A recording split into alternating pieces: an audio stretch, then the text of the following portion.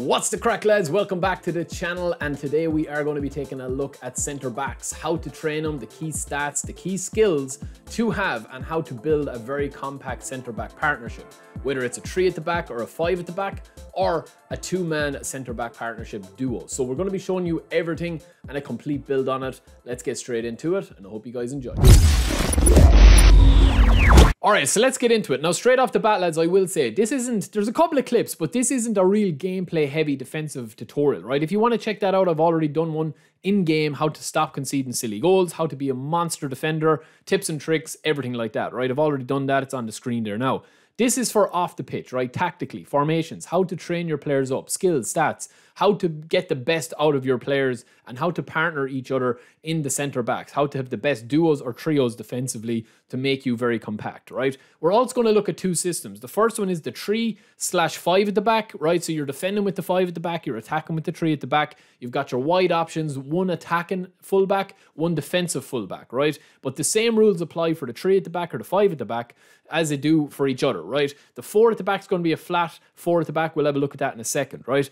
But this three at the back is essentially going to follow the same rules as the five at the back. As I've already said, right? You are going to be training up your three mid three centre backs in a bank of three, and they're going to be able to cover each other's weaknesses and get the best out of each other to cover every attack and threat that you will come up against from your rank, you know, division 5 onwards when people actually start to put a couple of nice passages of, of play together. And all you want to do with the 5 at the back or the 3 at the back is to isolate and, you know, compress your opponent, right?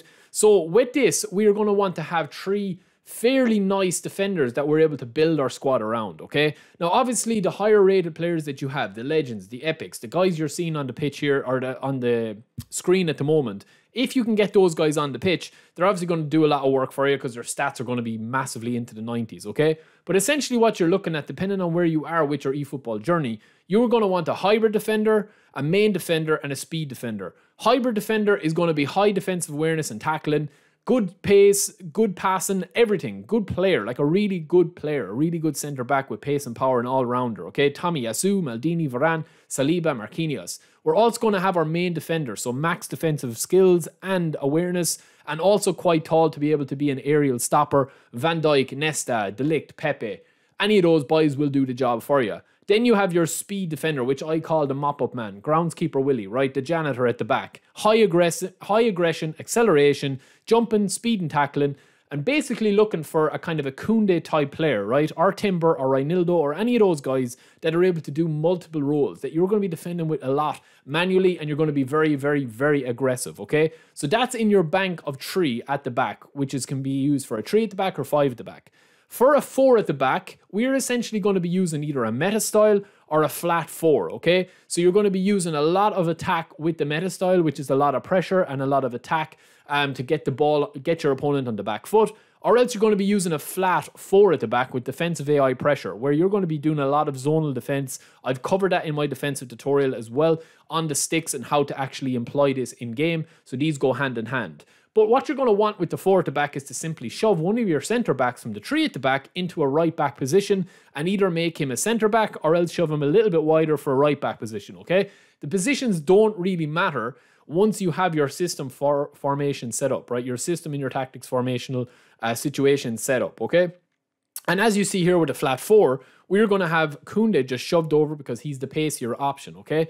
So when we are training players, right, a lot of people ask me, when we are training players, what type of players do you train? And these same rules apply no matter what formation that you're using, okay? So if it's a three at the back or a five at the back or a four at the back, you will want one of your main defenders, such as I said, your all-rounder, with these stats and skills. So high defensive stats, good mobility, but not as fast as the likes of Koundé, not as aggressive as Koundé, but to have all the player skills that you see shared here. So blocker, interception, we'll get to that in a second at the end of the video. That's not to worry, we'll get to that in a second here, but I will have a bit more advice on the player skills and stuff, right? But you will see here with Koundé, who is our speed kind of mobility centre back, we're going to have all the player skills by default anyway. He's a fantastic player. But you could also have the likes of Wan-Bissaka, who is not a centre back, but he's a defensive fullback. So you could kind of use that in the system that you're using. Now, this applies for the likes of Demichelis or any of these slow centre backs, right? I know Demichelis has 72 acceleration. He's probably not the best option, but a lot of people got this guy for free. He doesn't have a massive amount of player skills, but his player ID and his positioning really make him actually viable to use at the back. But you can use anyone here. Obviously, if you have, you know, top class players, like really, really top class players, this will get easier because you'll be able to hit so many high points, such as when you have Nesta or Maldini or any of those guys, you'll be able to boost them up a lot. But essentially, what you're going to be looking for here is to get the defensive stats as best as you can. This is like no more apparent than it is with Van Dijk. He's pretty much maxing out everything that you want to make my point for me here, apart from the aggression. So when we have this back four or the back three, we are essentially going to have somebody that can tackle a target man. We're going to have somebody that can tackle a speedster, such as Mbappe or Mario. And we're also going to have our all-rounder Marquinhos, who can tackle anything that comes at him. So that is kind of where you want to isolate the play and then leave Davies in a kind of a Roman, um, you know, role, basically, right? Where you're defending with three at all times and then getting back with Declan Rice or whoever you have as your DMF, okay? Even with Davies here and Koundé, there's going to be one attack and one defensive, right? That's what a lot of people get kind of bogged down with a lot of the times and they make it overcomplicated. You're going to concede goals. There's nothing that you can do to not concede goals, right? If you play 10 at the back and five goalies, just with the way the gameplay is, but what you're going to want to be doing here, I'm just showing you on screen, is to kind of mop up with. He's going to be your versatile, speedy kind of guy and leave Marquinhos with those high defensive stats and Van Dijk with those high defensive stats to kind of let the AI kind of position them and then flick onto them when you need to win the ball back. So one question I get asked literally every 10 minutes on stream by people coming in is what are the best player skills to train up on a defender and to actually target when you're looking for a new defender, right? So I would say that these are my rankings, okay? Now there's a couple of little bit of controversial bits in here because I have included heading, which essentially isn't really a defensive player skill. And I've also left off, left off fighting spirit, which again doesn't really come into defensive skills, but you could put it in there. Blocker for me and interception are actually animation driven since the transition to eFootball 2024. That is in the patch notes. They've rolled back on it a little bit now, but any player with blocker or interception, you will just notice that they will intercept and block balls more than anybody else, okay? You can still win a ball with Pedri or Messi, but it does help when you have for consistency when you're coming up against guys that know how to angle their passes and actually pass through, you know, the crap that happens.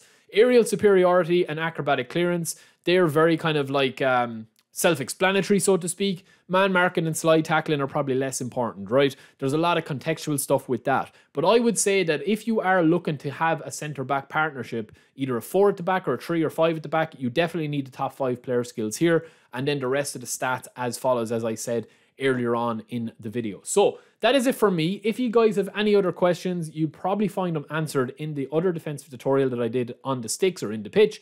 And that is it for setting up your team. Any other questions? I'm going to be continuing on this series. Next up is going to be CMF and DMF partnerships, whether you go for a you know a tree in midfield or a two-man pivot.